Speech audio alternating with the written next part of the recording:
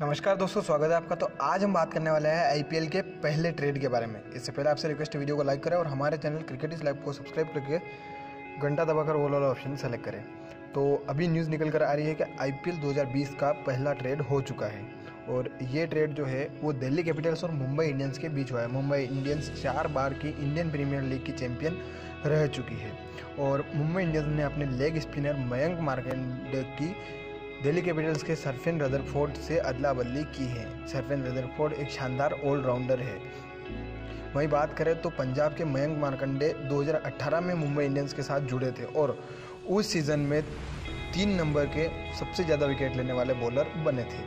वहीं बात करें सरफेन रदरफोर्ड की तो उन्होंने कैनेडा प्रीमियर लीग में गोयाना के लिए 13 गेंदों में 45 रन बनाकर टीम को फाइनल में पहुँचाया था तो इसी तरीके से वे काफ़ी बढ़िया फॉर्म में हैं। वहीं 2018 में खेलने के बाद मयंक मार्कंडे चोट की वजह से 2020 के आईपीएल से बाहर रहे थे और उनकी जगह पर राहुल चहर को सेलेक्ट किया गया था और चूँकि राहुल चहर काफ़ी बढ़िया फॉर्म में रहे, उन्होंने 13 मैचेस में 13 विकेट लिए और इकोनॉमी भी 6.55 की रही थी। तो राहुल चहर की वजह से ही मयंक मार्कंडे की ट्रेडिंग की गई। इस ट्रेडिंग पर आकाश अंबानी, जो कि मुंबई इंडियंस के ओनर है, उन्होंने कहा कि हम मयंक को उसके भविष्य के लिए शुभकामनाएँ देते हैं। वह काफ़ी टैलेंटेड प्लेयर है और हम खुश नसीब है कि हम उनसे जुड़े और उन्हें तराशा। हमारे लिए ये डिसीज़न करना काफ़ी मुश्किल था, लेकिन हमने उसे क्रिकेट में टीम में और बेहतर संभावनाओं के लिए रिलीज़ किया है।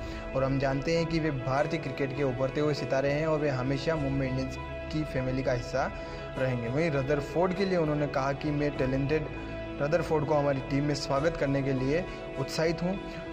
उसने हमें उसकी ऑलराउंड और मैच विनिंग स्किल से काफ़ी इम्प्रेस किया और उनका करियर के इतने शुरुआती दौर में इतना अच्छा प्रदर्शन काबिल तारीफ़ है। और इसलिए हमने उन्हें हमारी टीम में लेने का फैसला लिया है। तो इस तरीके से मुंबई इंडियंस ने और दिल्ली कैपिटल्स ने इस आईपीएल का पहला ट्रेड जो है वो कर लिया है। आगे और भी जो होंगे उसकी जानकारी भी हम आपको तुरंत देते रहेंगे। इसी के साथ विदा रहते हैं। वीडियो को लाइक करें शेयर करें और हमारे चैनल क्रिकेट इस लाइव को सब्सक्राइब करके घंटा दबाकर ऑल ऑल ऑप्शन सेलेक्ट करें। चलिए जय महादेव जय हिंद जय भारत।